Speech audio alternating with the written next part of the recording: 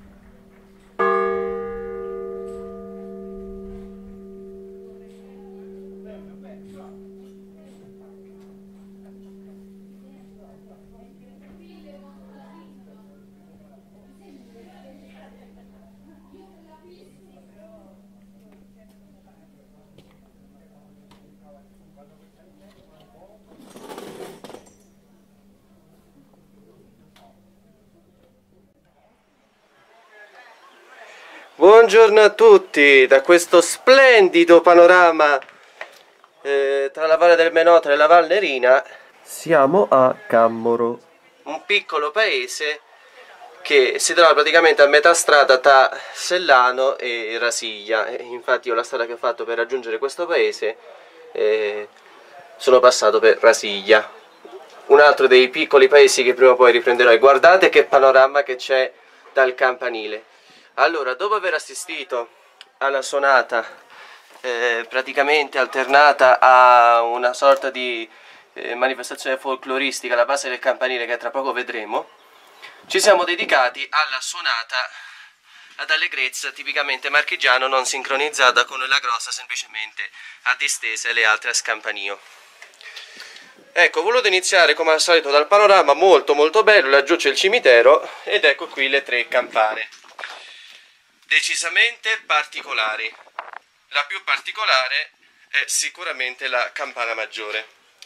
Mi spiego meglio, la campana maggiore è datata 1859, come è scritto anche qui. Eh, la data praticamente eh, comincia più o meno da lì e termina qui. Ma la fonderia di questa campana è decisamente particolare, non l'avevo mai sentita. Opus Vincent Gori Spoll. Non so se sia una fonderia, non so né tantomeno se ha fuso questa campana, fatto sta che eh, è decisamente particolare oltre che bella. E soltanto a sentirla, eh, anzi a vederla più che altro confrontandola anche con le altre, con quelle che abbiamo visto stamattina a Cancelli, diciamo che probabilmente è un fonditore che ha fuso anche per Demetrio Soli, per Giustiniani, insomma dovrebbe essere un fonditore di Folignate, d'altronde eh, siamo sempre nella zona di Foligno, quindi più o meno siamo lì. E questa è la sua nota. Se riesco a prendere battaglio, eccolo qua.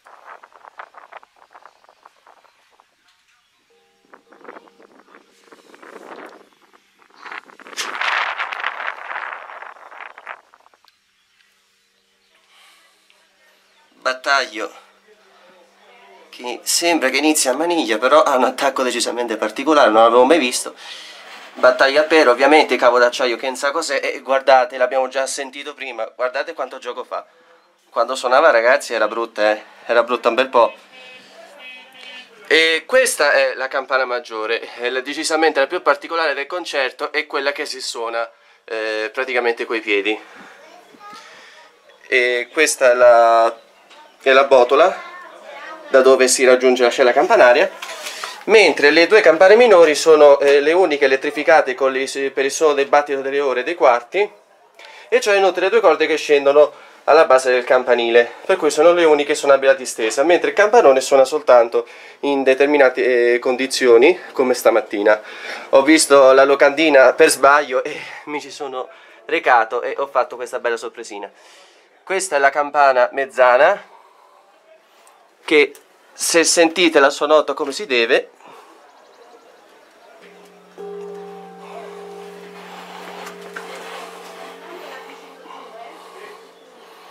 Ecco questa è decisamente messa meglio. Se sentite la sua nota notate che è leggermente più calante rispetto al campanone. E infatti esattamente come accade alla chiesa di Grotti anche qui il campanone è leggermente più acuto rispetto alla mezzana ecco qui un altro angolo panoramico. Guardate che spettacolo ragazzi. Ecco questa è la base del campanile dove sono stati allestiti gli stand per la festa. Anche perché oggi è l'ascensione, la festa della mamma e forse anche la festa della primavera, non lo so, io eh, ripeto ci sono capitato qui per caso, i martelli ovviamente sono della Trebino. E dopo andremo a vedere il programmatore che sta alla base del campanile, questa è la piccola, un Si3 terza maggiore.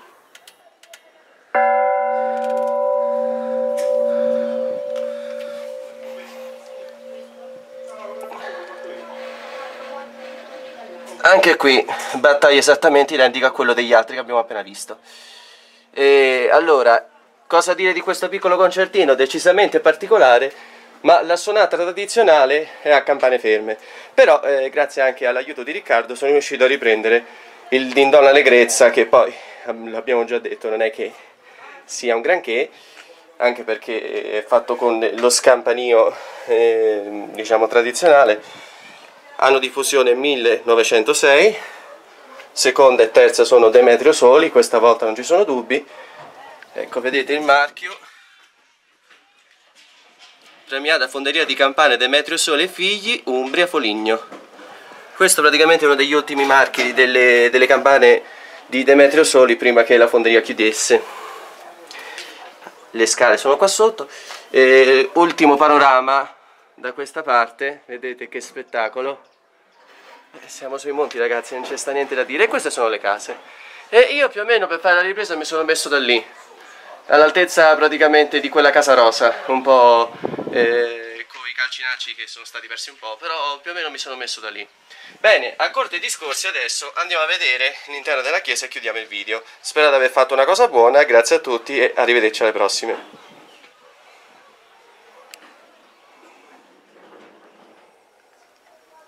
Siamo nel sottocella, questo rumore che sentite è del servomotore dell'orologio che vedete ha praticamente un quadrante solo come abbiamo già visto all'inizio.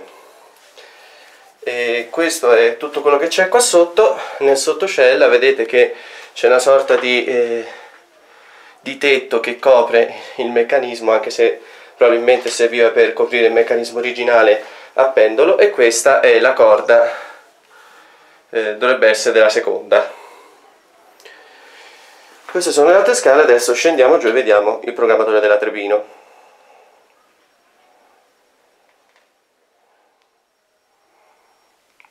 Eccoci qua, siamo alla base del campanile, queste sono le scalette, le prime scalette per raggiungere il primo piano. Orologio datore realizzato dalla Comunanza Agraria di Cammoro, anno 2006. E infatti eh, l'orologio è elettronico. Va 2-3 minuti indietro però già tanto che c'è. Questo è il piccolo programmatore della Trebino che gestisce il suono delle ore dei quarti. Queste campane sono esclusivamente manuali. Questa è una corda, questa è l'altra che purtroppo è rimasta lì probabilmente si è spezzata quindi la domenica presumo ne suonino solo una. Ora usciamo e andiamo a vedere la chiesa. Eccola qui.